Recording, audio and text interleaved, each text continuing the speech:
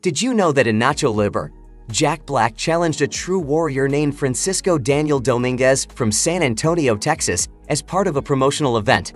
During the challenge, Dominguez did a triple tornado kick, which landed on Black's face, causing a three-month delay in filming.